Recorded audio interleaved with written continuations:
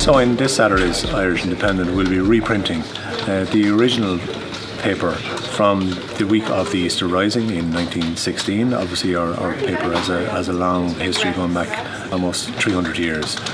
People will be able to see exactly how the Easter Rising was reported within the pages of the Irish Independent. Uh, in review, uh, we look at Ray D'Arcy, the man who came back to our team uh, a year ago this week, and specifically on his television programme, which has been getting mixed reviews, but he defends himself and RTE and the popularity of the programme. We have um, Jennifer Maguire on our cover. Um, she's talking to us about her new series, Bridget and Eamon, and how motherhood has put her in touch with her sensitive side. So we also have the productivity secrets of Ireland's busiest people. So across a range of things, from business people to politicians, basically telling us the apps they use and the tricks they use for fitting more into their day. And we're um, talking about male hair transplant, and TV3 star Alan Hughes is telling us what he had done and why he had it done.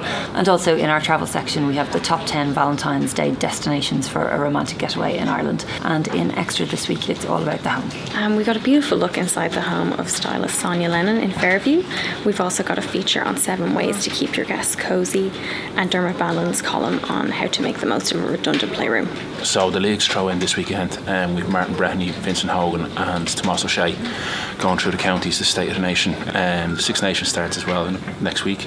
So we've Ruaidhrí O'Connor, Alan Quinlan, Tony Ward talking about what they see happening over the course of the next few weeks and what's going to happen with Joe Schmidt in Ireland after the disaster of the World Cup.